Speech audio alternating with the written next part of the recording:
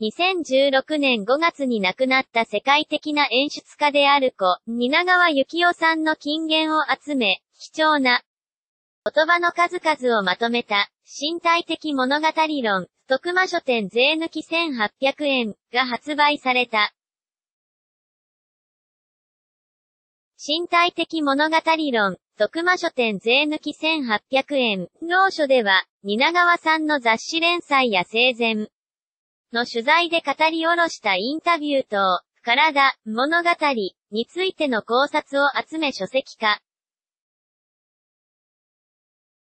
構成を担当した木又冬による、関係者らの証言を集めたレポートも併録した。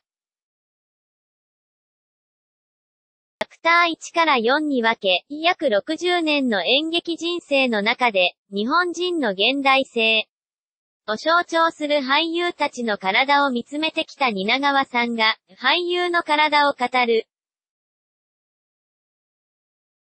その金言を通して、時代や人間存在の本質を見つめることのできる一冊となっている。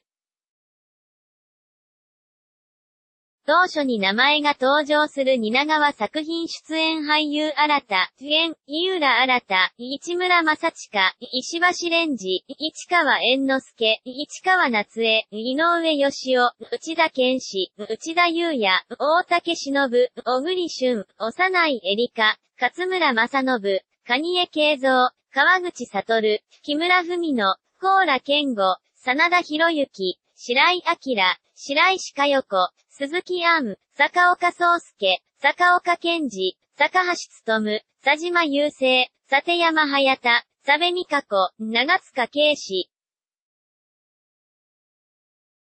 中西明、